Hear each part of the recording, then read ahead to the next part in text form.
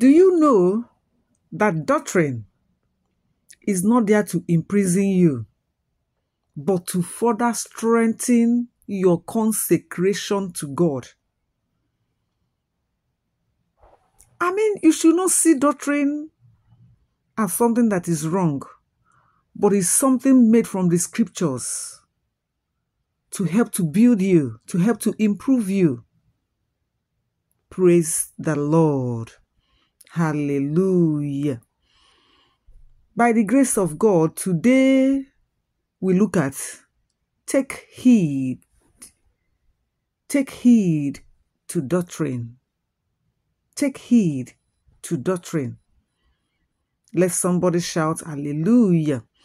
Our memory verse will be 1 Timothy 4:16, while our Bible passage will be 2 Timothy 4 2 to 5. Let us pray. My Lord and my God, you are the one that gave the inspiration to write the scripture. You're the one that teach your children through the scripture. You have made the scripture available for leaders, our fathers and mothers in the Lord to develop doctrines from it. Therefore, Lord, I pray that you give us the wisdom, the enablement to be able to take these doctrines, digest them, and apply them in our lives. They are meant to improve us, they are meant to strengthen us, they are meant to make us better Christians. Help us to live by them in Jesus' name. Amen. Praise the Lord. Hallelujah. We'll take the Bible passage because it's a short one, I believe. Second Timothy chapter 2, verse 2 to 5.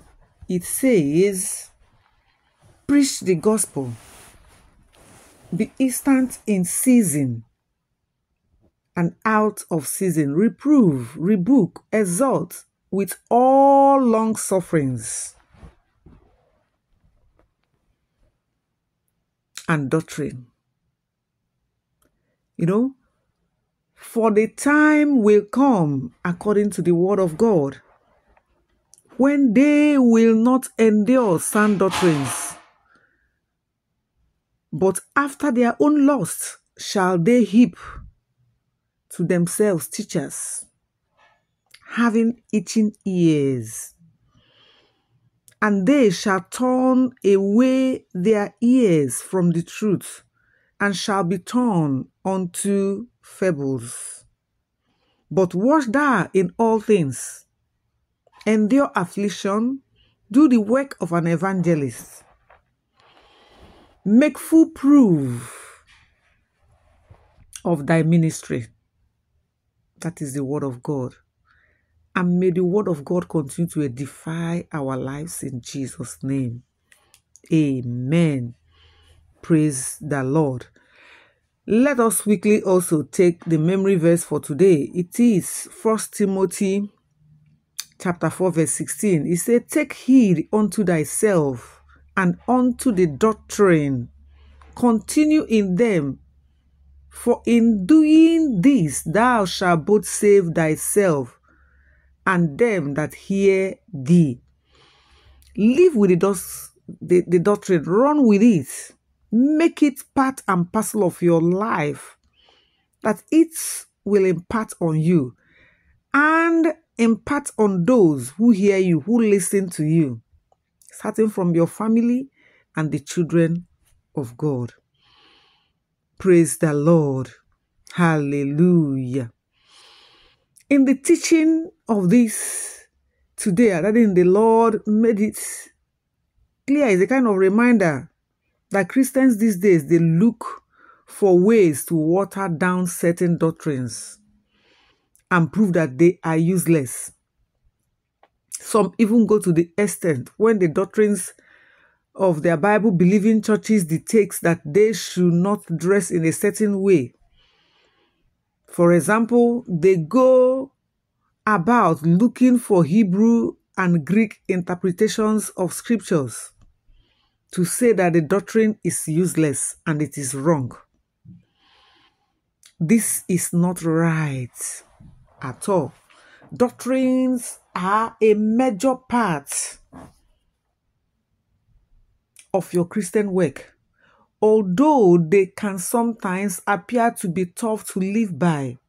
But, beloved, things that are good are never easy.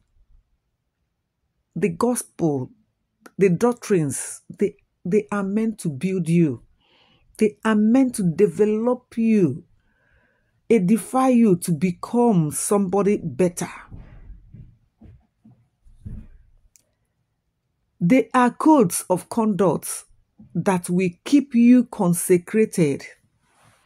A doctrine may not seem interesting when you are living by it.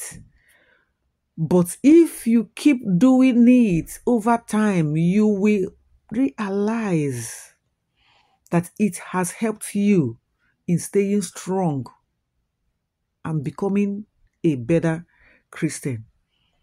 Praise the Lord. Our God is always solidly behind doctrines. That is why in 2 Timothy 3:16 it says that one of the reasons God gave us scripture is for reproof, for correction, for instruction in righteousness. And do you know that the scripture was given by the inspiration of God. And it's profited for doctrine, like the Bible says. So the scripture recognizes that doctrine is there to help our day to day living as Christians. Therefore, you, you must note, you must note that doctrines are gotten from the scripture by the representative of God that are your leaders the leaders of different denominations. The head of another denomination may not develop a, their doctrine from the same scripture. But as long as the fellow whom you call your father in the Lord develops a certain doctrine from the scripture, you have to live by it. That is why you call him my spiritual father, my father in the Lord. He will not develop a doctrine, you know, to belittle you, to demean you, but no, but to build you to become a better Christian and a better child of God. The early church was strong and very fervent. They were fervent Christians because they continue steadfastly in the doctrine of the of their leaders and their leaders were the apostles according to acts of apostles 2 42 it said that and they continue steadfastly in the apostles doctrine and fellowship and in breaking of bread and in prayers we must note note take note of that that you are not to choose which doctrine to follow based on convenience. This one is convenient for you. Oh, I'm comfortable with this one. I'm not comfortable with this one. No, that is not what a doctrine is all about. It's not for your convenience. But based on your conviction that the one who brought the doctrine developed it from the scripture, you should also be convinced that the person is the spiritual leader that God wants you to submit to. Know you that doctrines raised from the scriptures will set you apart from the world. They are great catalysts for your spiritual growth and well being.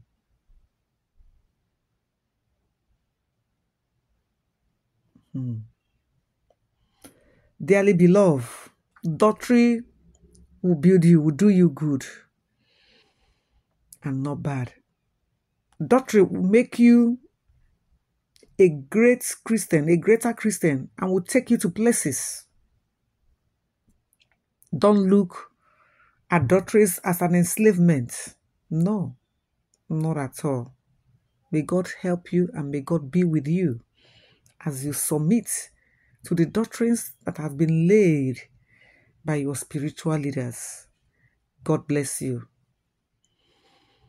Amen.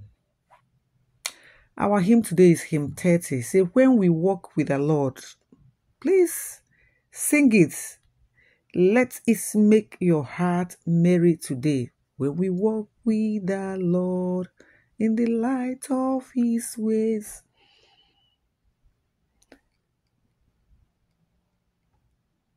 May you walk with the Lord and may you enjoy all the benefits, all the goodies that is attached with walking with the Lord. Praise the Lord. I want to appreciate all my returning subscribers. God bless you. God bless every one of you. To those coming to my channel for the first time, God bless you. God bless you too. Please do hit that subscribe button if you've not. Give me a thumbs up if you like this topic. Take heed to doctrines, and your life will be far, far, far better as a Christian and as a believer. Feel free to share with friends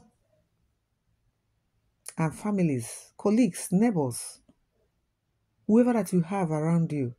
Share with them and the good Lord will give you the reward of an evangelist who shares his words with people.